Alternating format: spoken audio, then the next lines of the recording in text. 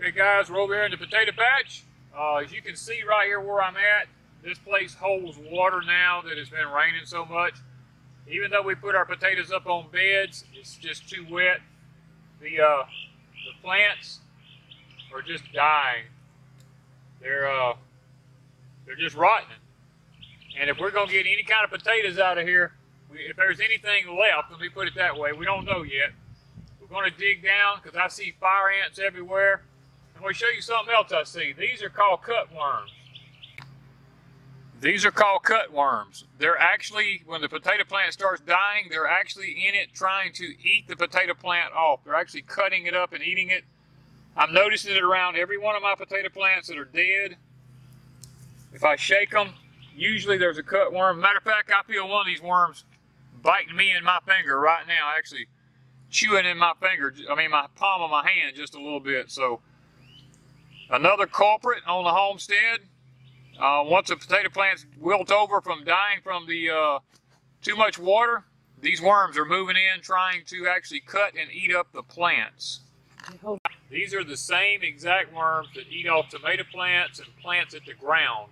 When you put them out, they wrap around it, literally cut them off, kill the plant, uh, guys, it's like there's never end to these insects and bugs and worms without using control for chemicals and stuff, but we refuse to do it here at this point. As long as we can stay ahead of them, we're going to keep trying to do it. But now we're going to look and see if there's any potatoes where this plant I just you know pulled up was. Because it's a little early, but we're going to try and see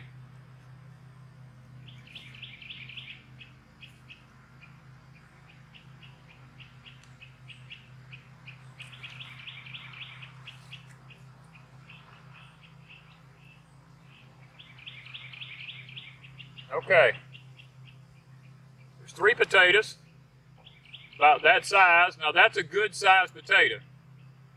So far we got it just ahead of it blistering from the water or fire ants getting too bad. And I see a couple of fire ant holes in the side of it.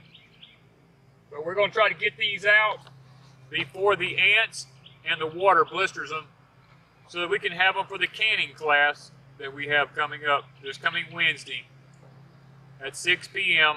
Central Time. On Wednesday the 8th, I believe it is. Let me get a bucket out. We've got another plant here. They're just pure slime. I mean, literally slime.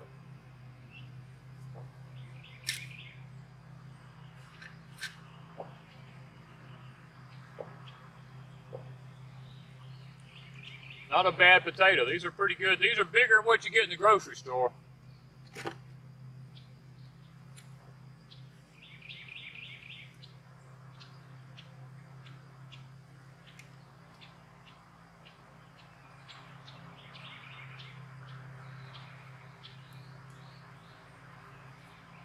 Averaging three to four nice potatoes per plant.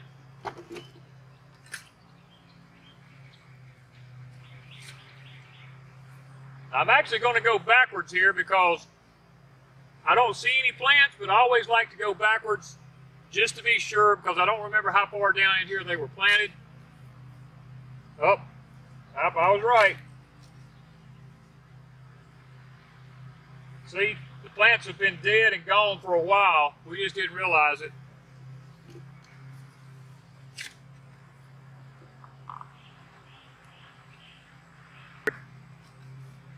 Guys, if you're going to dig potatoes, I highly encourage using a potato fork because that is the way it's intended to be done. It's the right way to do it.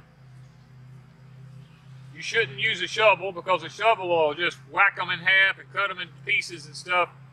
If you watch what you're doing with a potato fork and stay far enough away from the plant, you can actually stick it in the ground and sift the dirt through it. Now this dirt's kind of heavy and kind of wet, but you can sift, see how I do that, and the potatoes just come right to the top.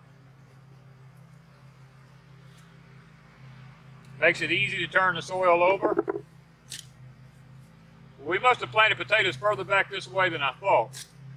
They've just been dead for a while. See, you can shake that ground, and look at this. These potatoes just roll right out.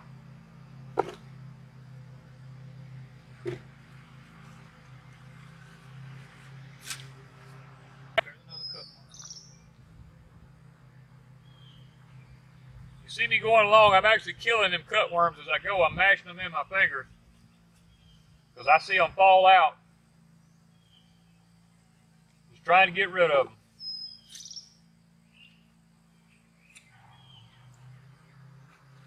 Guys, when it comes to gardening, having the right tools makes all the difference in the world.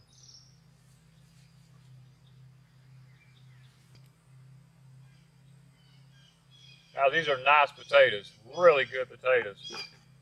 And might I add, back in the day, anybody no older than I am,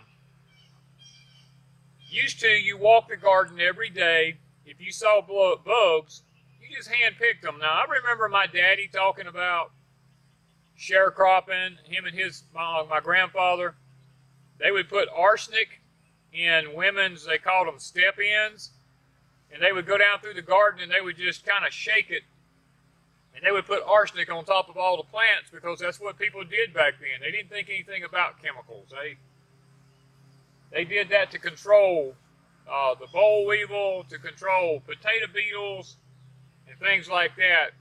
And to them, it was nothing. As a matter of fact, the agriculture department pushed that kind of stuff back when my dad was a kid.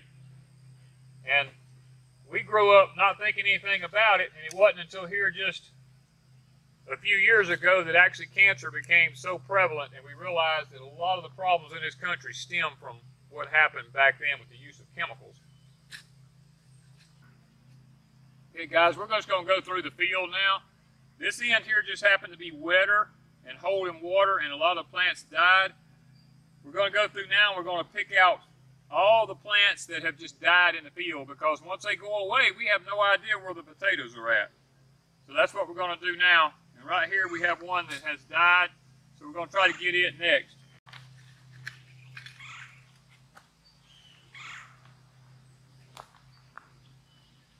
sticker weeds out of here. Ooh, look at that one there. Look at that. Now that is a nice potato. But you see what's happened to the plant? It's just dying. It's been eat off at the ground.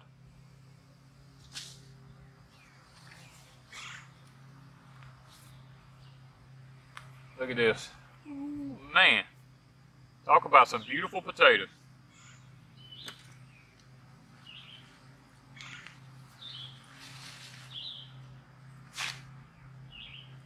Yeah, there's another one. At that. Big as a palm of my hand. Grocery store ain't got nothing on them potatoes. These ain't got no sprout dip on them.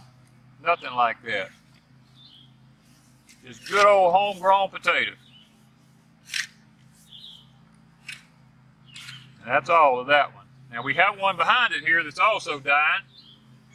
And I'm guessing that it has a lot to do with the wetness because right in here you see where it holds water. A lot of these are dying. Even though we have these up on a bed, it's still uh, it, it's still just too wet for them. Now this one here is covered up in fire ants before I ever dig it. I want you to see if I can get it pulled back. You see those fire ants? They come to these stems and they eat them off like this. When they start souring, all that juice running out of it, those fire ants come to that and then they go down to the potatoes and they start eating your potatoes. Let's just see what we got under this one. Look at that.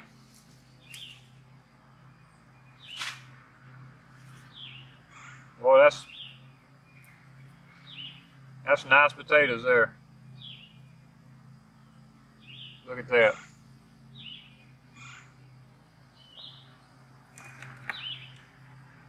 And might I add too, you want to be careful when you're handling these potatoes. You don't want to just throw them in the bucket because if you bruise them now, they will rot later.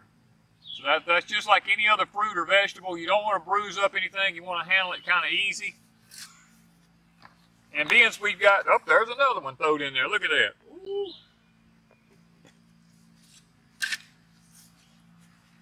That one's just kind of growing out to the side.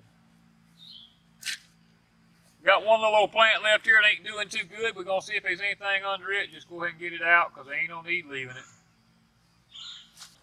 This ground is really wet for sandy soil, I can tell you that. All right, we're going to hunt the rest of the plants in the field that are dying, and we're going to go ahead and get them out of here while we can. All right, we got another one here. To see what we...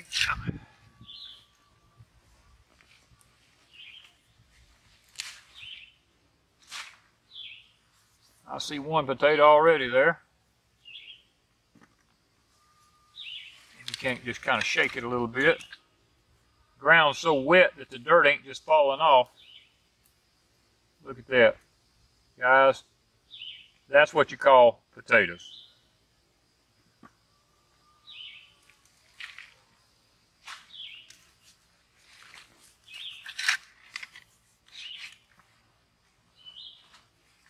Always like to make sure I didn't leave nothing behind. Now, one thing you see me doing is you see me taking these plants I get them out of my field and throw them out at the field out here because if there's a cutworm left or if there's disease on it, I don't want it spreading to the rest of the plants.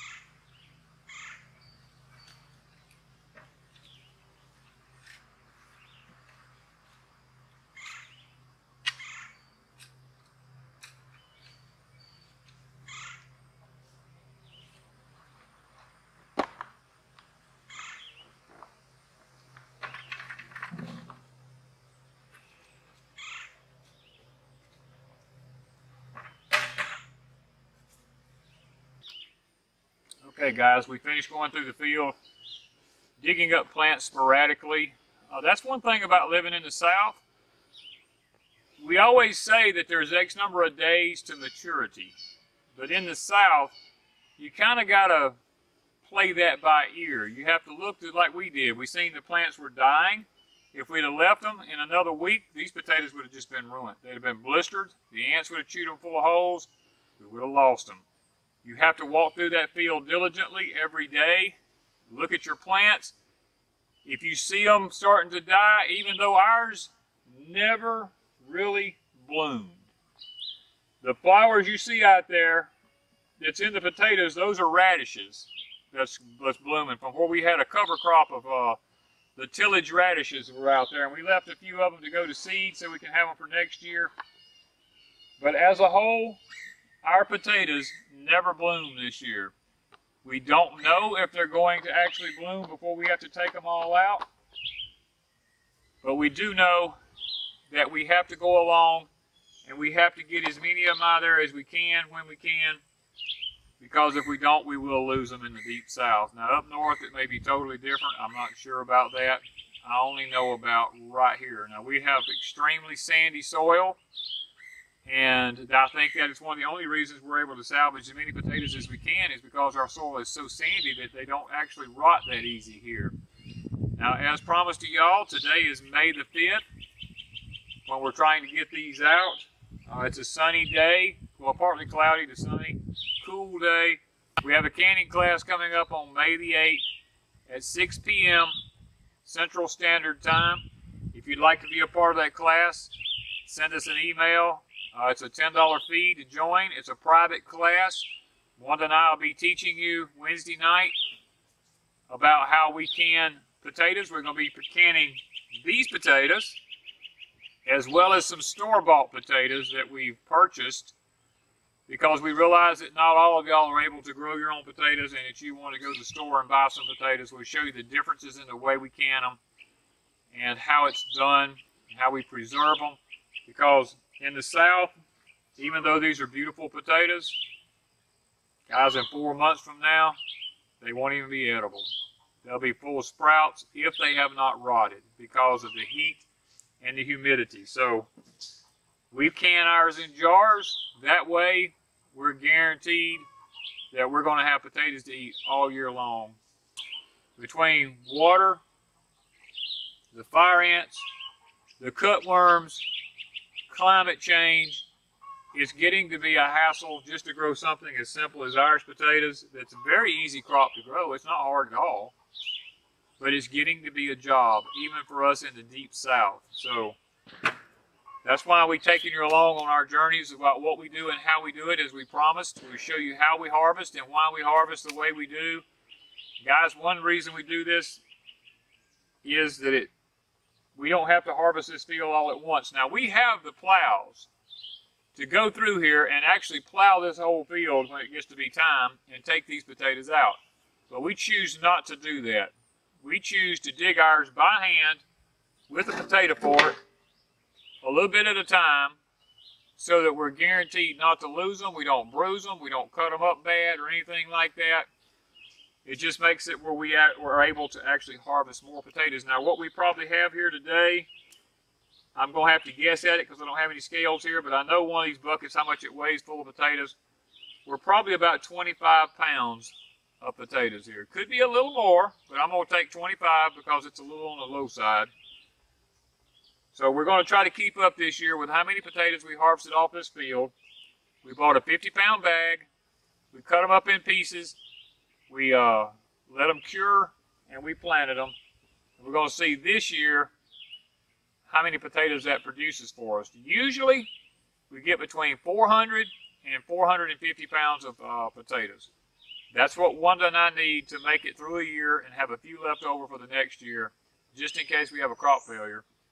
So that's what we're shooting for this year, is 400 to 450 pounds. And go along with us, keep up with the poundage, and we're going to keep up with it, and we're going to see if we meet our quota this year. So thank you guys from Deep South Homestead.